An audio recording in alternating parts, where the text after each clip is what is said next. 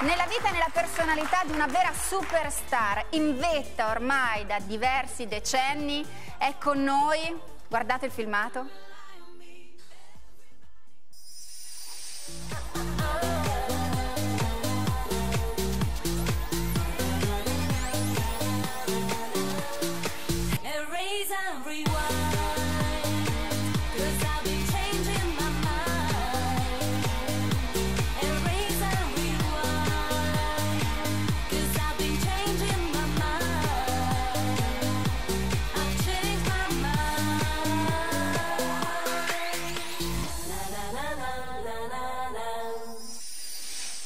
Apriamo la ruota e facciamo entrare Sabrina Salerno.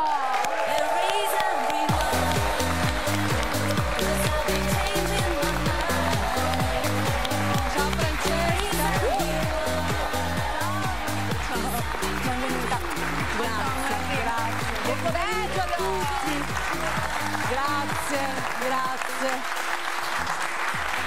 Buon pomeriggio a tutti, che bello! È bellissimo averti qua, ruota libera. Sono contenta anch'io, ci tenevo ad esserci. Grazie, come stai? Bene, bene. Ti vedo in gran sì. forma, sempre bellissima.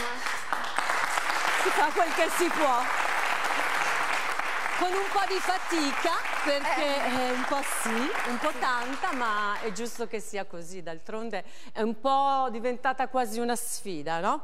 Mm. Cercare di essere sempre performanti, stare bene. Però tu sei una grande lavoratrice, chiariamolo subito questo. Sì, Molto sì. meticolosa anche. Molto, sì, sì. Al limiti del, um, della maniacalità, uh, ahimè. E questo a volte è un pregio, ma è anche un difetto. Però che ci posso fare? Sono così. Però questo magari è anche il segreto per rimanere così certo, certo, per essere livelli. sempre performanti e per dare il meglio di se stessi. È vero. Come giusto che sia, davvero. Allora, che rapporto hai tu con, eh, con la ragazzina che ha lanciato Boys? Che rapporto hai con lei? Mm, di tenerezza, sì. perché di tenerezza e di ammirazione, posso dirti, perché credo di essere stata una donna coraggiosa. Eh, sono partita così all'improvviso, dal niente, senza arte né parte, eh, senza avere l'obiettivo, l'idea precisa di...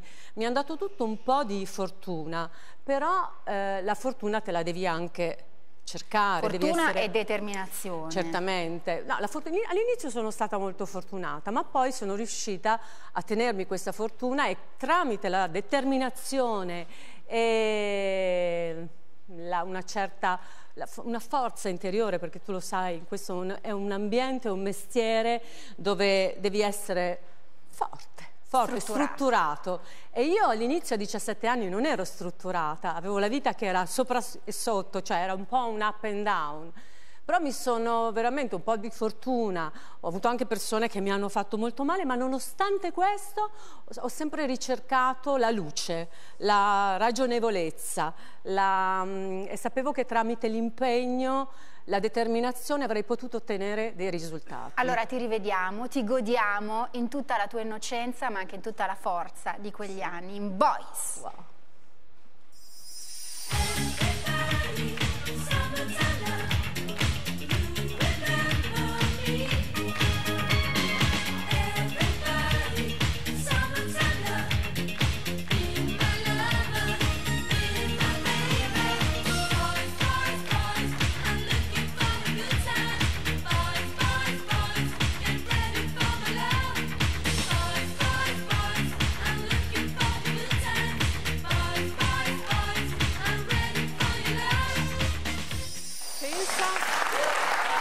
Avuto un flash.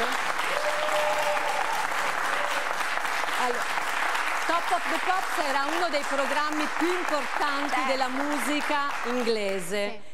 E mi ricordo che arrivai in ritardo di 5 minuti, ma non per colpa mia, perché io sono, in questo nella mia maniacale, sono la precisione, sono un orologio svizzero.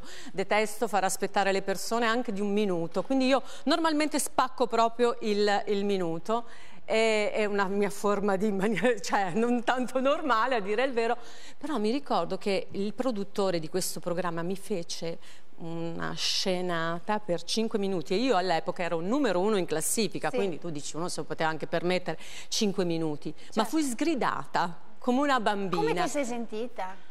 Eh no, che ci aveva ragione, perché io poi, essendo, la colpa era della casa discografica, non era neanche stata mia, quindi eh, mi è rimasta impressa questa cosa, già ero di mio precisina così, però questa cosa qua mi ha... Ti ha un po' segnato. Sì, no, mi ha favorevolmente. Certo, certo, lo capisco perché io perché sono, una è una questione ancora... di rispetto non fare aspettare le persone. Ecco, per dire, cambiamo argomento perché qui mi tocchi sul vivo. Io invece sono proprio un disastro con l'orologio e con la puntualità, eh lo so, ma, ma non sono no, no, io. Essere... è il carattere anche. Io sono mania maniaca, io sono, sono spacco, mi viene l'ansia. Ecco. Mi viene l'ansia. Me... Pensa in aeroporto, vado un'ora prima, la, il, il, treno. Tutto prima. Tutto, tutto prima, un'ora prima. Devo fare tutto con calma perché sennò vado in ansia. Senti, di quel video, a me rispetto a quanto hai detto poco fa, tutta sì. quella luce, tutta quell'energia e anche una certa forma di purezza arriva tutta, no? Però sì. mi hai anche detto, cioè, in quel momento ho incontrato anche chi sapeva farmi del male, certo, perché chiaramente certo. se ne sapeva approfittare. Certo. Quindi a noi arriva magari il lato luminoso di quel tipo di musica e di divertimento. Quali erano le ombre?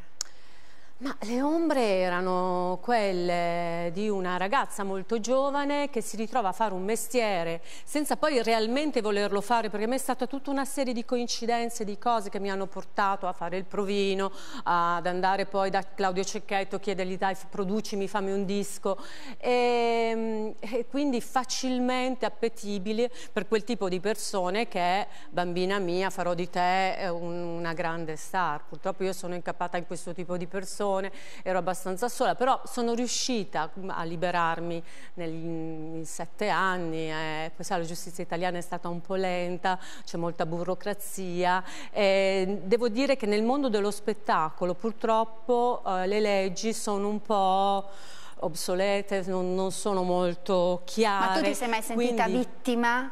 Anche da, per come veniva raccontata Ma, la vicenda? Parlane tu. No, no, allora ti spiego. Io ho avuto a fianco questa persona che ha creduto molto a me, al quale devo comunque dire grazie, perché sai, è certo. facile sputare nel piatto dove si è mangiato, ma è stata comunque anche merito di questa persona, in parte se probabilmente ehm, se sono arrivata ad essere famosa, perché comunque siamo andati insieme da Claudio Cecchetto, ma, eh, e, da, e, con Claudio abbiamo fatto un percorso di un album che ha venduto milioni di dischi, quindi però questa persona, cos'è? Eh, ma, voler manipolare una persona, eh, renderla incapace di intendere di volere, questo era uno su delle sue fobie, eh, era un genio del male e questo capita tantissimo.